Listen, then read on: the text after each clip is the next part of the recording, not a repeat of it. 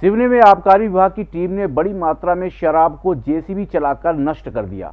दरअसल शासकीय अंग्रेज़ी वेयर हाउस में करीब छह माह से शराब रखी हुई थी, जिसकी कीमत करीब एक करोड़ अंठावन लाख रुपए बताई जा रही है।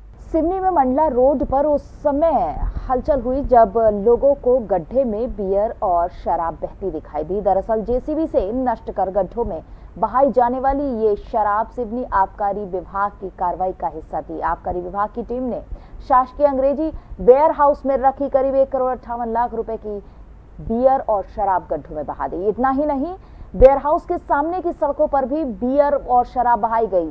वेयर हाउस में रखी लगभग तीन हज़ार पेटी बियर और लगभग 2100 पेटी शराब, जो चलन से बंद और एक्सपायर हो चुकी हैं, उन्हें विभाग ने नष्ट कर दिया। विदेशी शराब गोदाम परसर सिवनी में छः महीने से पुरानी बियर एवं काफ़ी पुरानी ऐसी विदेशी शराब जो अब बिक नहीं रही है का नष्टीकरण किया जा रहा है।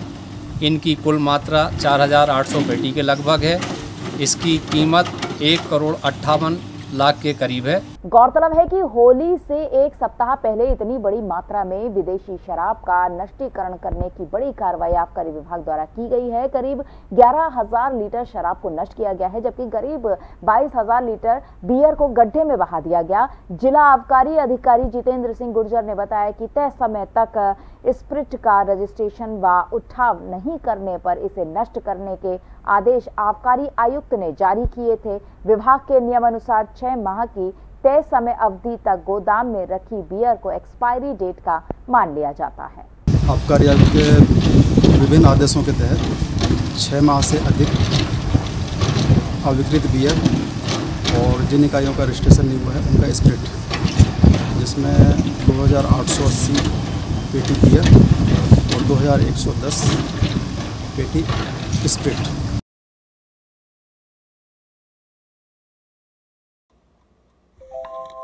Life is about to change, है No more आठ घंटे की नींद No more late night movies No more parties with friends. बिल्कुल सही कहा तुमने।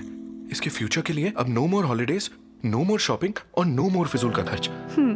लेकिन अगर इसका फ्यूचर ऑलरेडी सिक्योर्ड हो तो? रियली डैडी बने हो। देवदास नहीं। जीना छोड़ दूँगा हॉलीडेज छोड़ दूँगा। स्मार्ट लोगों की क्लियर है प्रायोरिटी बाकी सब बाद में। क्यूट वाले मेहमान से पहले LIC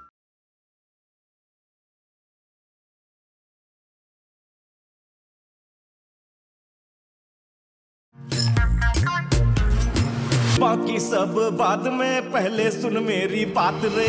लाइफ के टेढ़े मेढ़े रोड पे होंगी चुनौतियाँ हर एक मोड़ पे।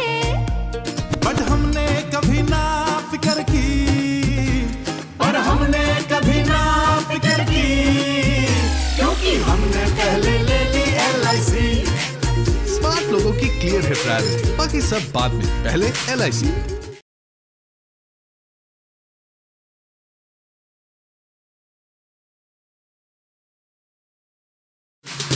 स्टार्टअप का सपना।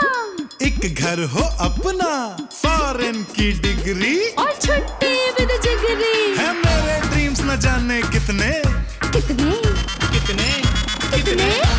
पर हमने कभी ना फ़िक्र की क्योंकि हमने पहले ले ली एलआईसी क्योंकि हमने पहले ले ली एलआईसी स्मार्ट लोगों की क्लियर है प्रायोरिटी बाकी सब बाद में पहले एलआईसी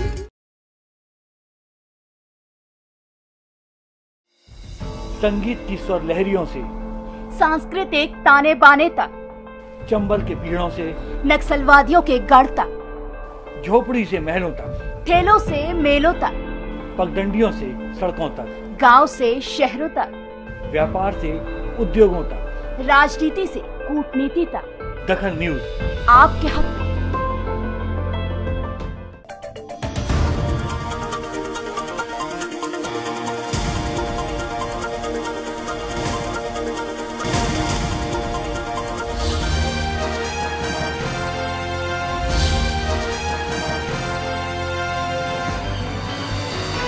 आप देख रहे हैं दखल न्यूज़।